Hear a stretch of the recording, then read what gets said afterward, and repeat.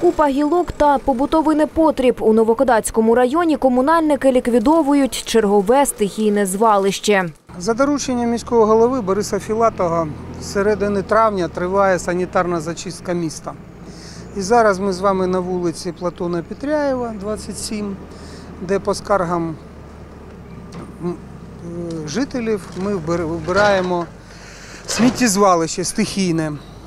Можна сказати, що з середини травня ми прибрали біля 30 таких сміттєзвалищ. Лише за місяць комунальники вивезли понад 5 тисяч тонн сміття з усіх районів міста. А це вже тимчасове укриття у спеціалізованій школі номер 67. Тут є все необхідне для безпечного перебування під час повітряної тривоги. Кожне приміщення укриття облаштовано е, шкільними меблями для того, щоб можна було учнів під час повітряної тривоги привести і посадити для безпечної обстановки. Да, були такі ситуації. Ми приводили дітей, коли е, вони отримували свідоцтва про закінчення 9 класу, і була якраз повітряна тривога, і ми. Два, два рази сюди заводили дітей раз- разом з батьками. Черговий містом залишився задоволений станом укриття.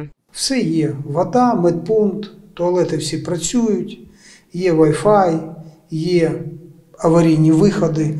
Тому у міської влади претензій до цього бомбосховища немає.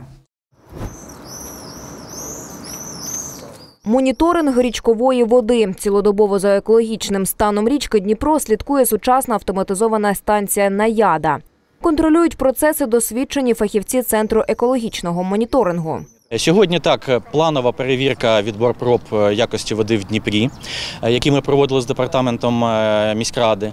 Е, Це ми розуміємо, це дуже важлива тема зараз для всіх людей. І можемо сказати, що е, ми не бачимо критичних перевищень е, в якості води.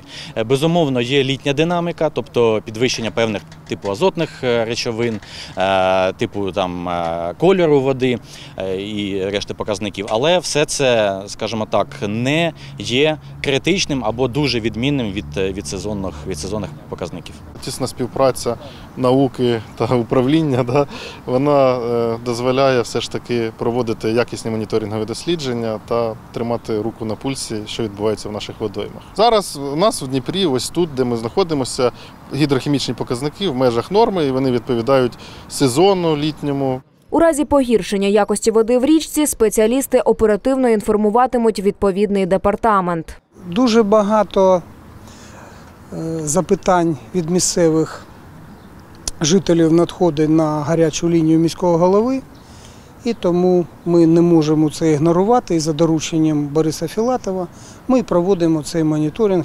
Як я вже казав, ми його проводимо вже близько трьох місяців кожен тиждень.